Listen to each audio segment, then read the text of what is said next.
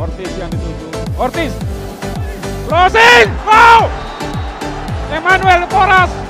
Luar biasa. Setelah menjebol gawang dari PSIM tadi.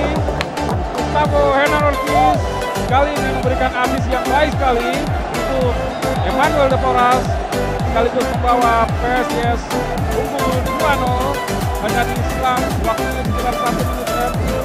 Sebelumnya kita bahas Bung kerjasama antara dua pemain Bung. Cukup cukup baik Bung.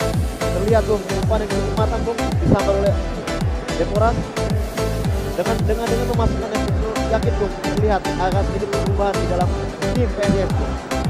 Anda melihat kerjasama atau boleh disilakan Argen Argentina Connection ini. Sering terlihat di dua musim lalu di, depan Persija. ya ya. Ini kembali terlihat sekarang di PSIS Bung kerjasama cukup baik PSIS Semarang atas tuan rumah PSIS Mataram Jakarta dengan kedudukan 2-1.